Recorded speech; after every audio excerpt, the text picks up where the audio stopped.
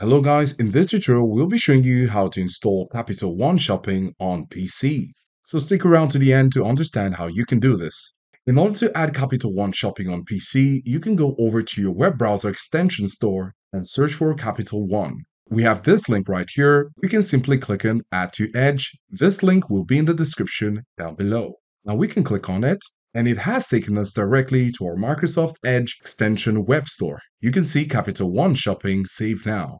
Over here on the right, you can click on Get It. You'll have a pop-up where you need to click on Add Extension. The download is happening right now, and it's currently adding to the Microsoft Edge browser. And now at the top right corner, you can see the extensions button right here. If you don't have it, you can come over here and click on the three dots here. Go down to extensions, and you'll see the extension list on your browser. You can see at the top Capital One Shopping Save Now, which we just downloaded, and you can come over here and click on Show in Toolbar. When you do this, you will see it right here. So now we have our Capital One Shopping installed on our browser. Let us know if this was helpful and thanks for watching.